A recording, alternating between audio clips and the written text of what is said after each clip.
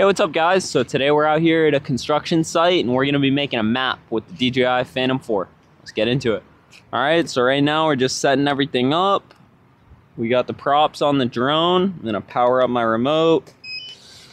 I'm gonna plug in the phone and the software we're gonna be using to make this map today is gonna be Drone Deploy. So we're gonna load up Drone Deploy on my phone. I already have this area mapped out on Drone Deploy, so all I'm gonna do is load up the Drone Deploy and press fly. I got my drone deploy all pulled up. You see this is eight acres. It's gonna take 15 minutes or 16 minutes basically to fly. I'm flying it at 190 feet. It's gonna take one battery and it's gonna be 337 images. So let's set the phone up, remote's on, let's turn the drone on. Now what this is gonna do is it's basically gonna take a whole bunch of pictures of this job site and then it's gonna we're gonna put them into drone deploy and it's gonna compile all the pictures and make one big like a google map and it'll make me a 3d map of this this area so we can we can see what's going on here.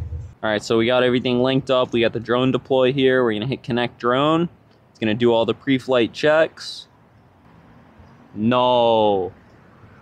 I gotta use the sd card from this drone. I forgot a sd card at home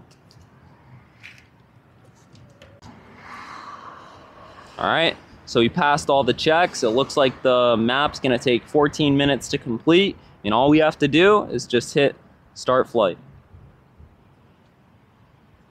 The drone will initialize, motors will start, and she'll go up.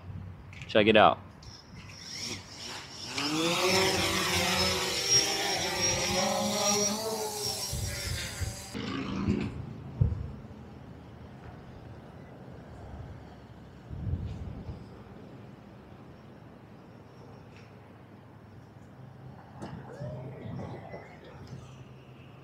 Bro, the drone's not even connected to my drone deploy app, bro.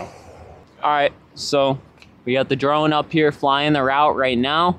It's about five to eight minutes in to flying this route. It's gonna be done in about six more minutes. And when it comes back, we'll be able to load the data into the computer and get the map that we need. Fully autonomously, not doing anything.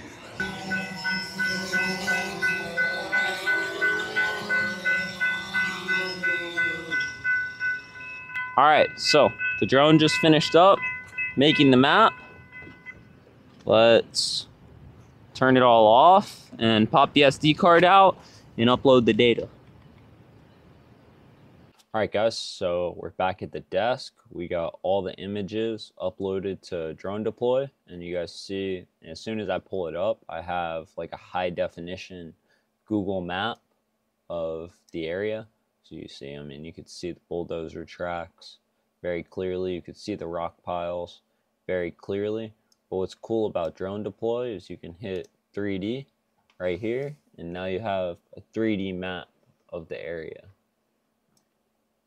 So I mean, you could see, like I could see everything. See that bulldozer.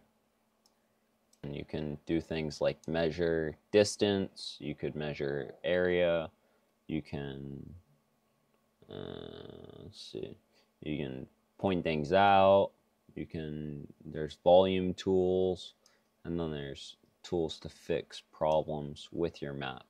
But drone deploy is it's it's a really cool tool. Um, you could do a lot of different things for it. You could use it for construction. You could use it for personal use on your own properties. You could use it for farming. You could use it for you use it for a bunch of different things. It's a very useful tool for anyone with a DJI GPS drone. I mean, it's very easy to use. You just set it up, set the mission up, and then press start, and the thing just takes off and, and goes wherever you need it to go. I mean, it's it's pretty straightforward. Um, the only problem with drone deploy is it is a little bit expensive.